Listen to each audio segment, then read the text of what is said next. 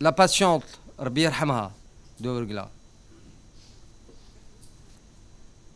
elle a été victime d'une piqûre de grade 3, c'est-à-dire très grave.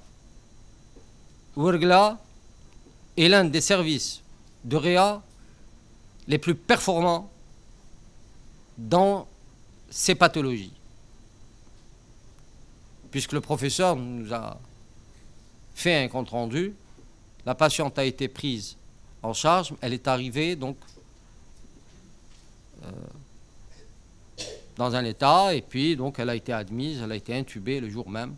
La patiente a été sur les rapports d'experts a eu les soins qu'il fallait, elle a été hospitalisée au moment où il fallait, mais vous savez bien que le médecin est humain et que on ne peut pas sauver tous les patients de la reine. encore une fois.